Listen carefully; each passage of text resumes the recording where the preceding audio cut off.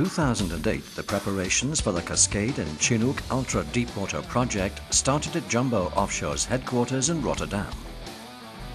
In close consultation with the client, Technip USA, procedures were established and safety meetings held. Crane operators were trained on Jumbo's crane simulator in its headquarters in Rotterdam. The deepwater deployment system on board Jumbo's offshore heavy lift vessel Fairplayer as well as a purpose-built hang-off frame, were important tools for this project. The installation of this frame was a precise operation. As always, safety was of utmost importance.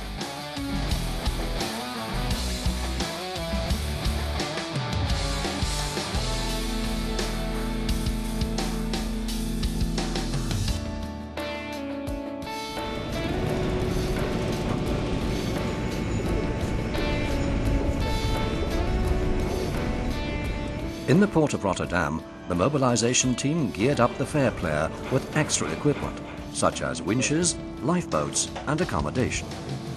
The critical hang-off procedure was tested on site. The chain showed a perfect fit in the hang-off frame.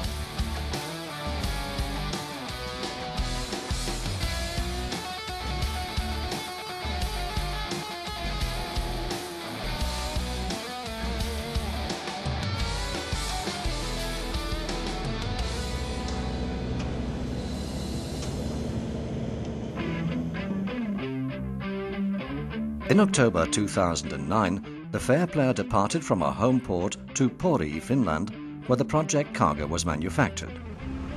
Five 350-ton buoyancy cans, measuring almost 40 meters in length and 6.5 meters in diameter, were ready to be shipped. The structures were brought alongside the Fairplayer by self-propelled modular trailers and connected to the two 900-ton mast cranes.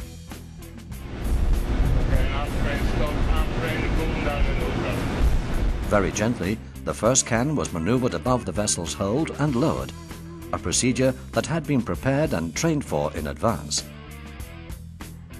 The first buoyancy can was lowered directly into the vessel's hold.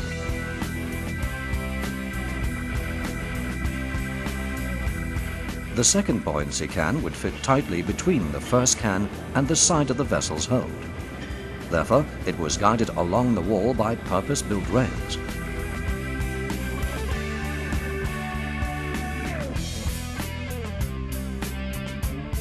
Buoyancy cans 3, 4 and 5 were strategically positioned on the weather deck. After thorough sea fastening, HLV Fairplayer was ready to set sail to the installation site.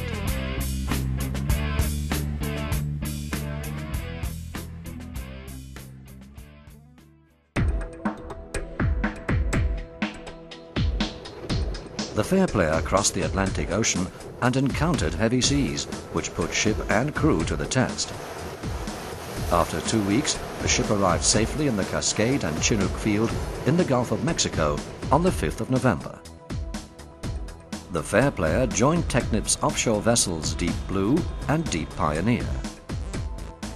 The first step of the installation procedure was the subsea handover of a 2,300 meter long riser from the Deep Blue to the Fairplayer. The submerged weight of this riser was close to 400 tons, a dynamic challenge. 200 meters below the vessels, an ROV transferred a spring line, and the load was slowly transferred to the Fairplayer. The ROV disconnected the hook of the Deep Blue to allow the Fairplayer to hoist the riser and chain to the surface. Subsequently, the chain was carefully maneuvered into the hang-off frame and lowered to the connection with the buoyancy can.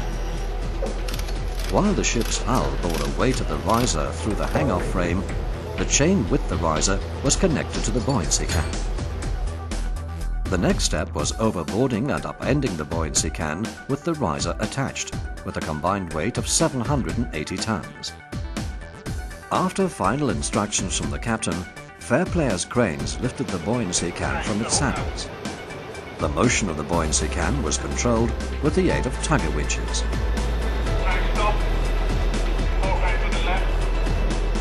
The lower side of the can was positioned precisely above the hang-off frame, and the chain and riser were raised. While the Fairplayer's position and ballast system were carefully monitored, the buoyancy can was overboarded and upended. The buoyancy can touched the Gulf of Mexico's splash zone and slowly descended into the blue water. During this operation, it was essential for the two crane operators to work in optimal coordination.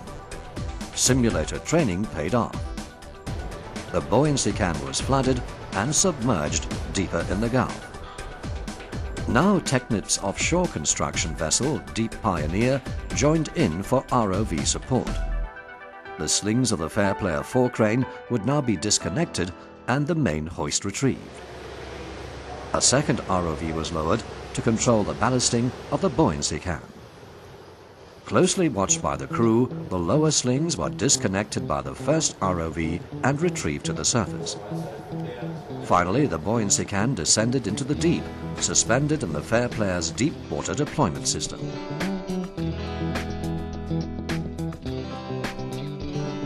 The second ROV connected to the can to adjust the balance level by pumping in nitrogen.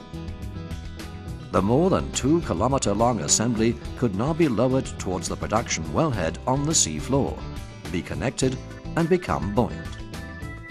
A critical moment was the disconnection of the automatic shackle of the Fairplayer's deep water hoist.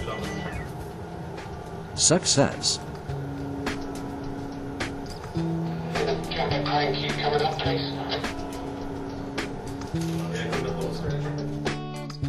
The last ballast water was removed from the buoyancy can to finalize the first installation job.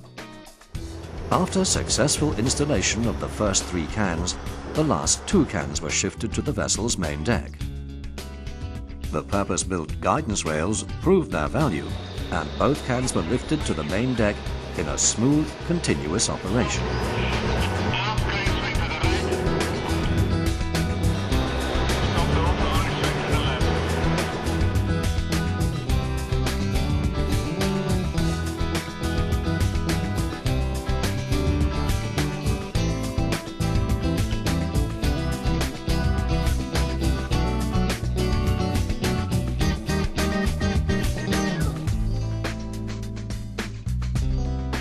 Shortly after sunrise, the hatch covers were repositioned. The final two installations were executed in the same way. Challenge complete. Mission accomplished.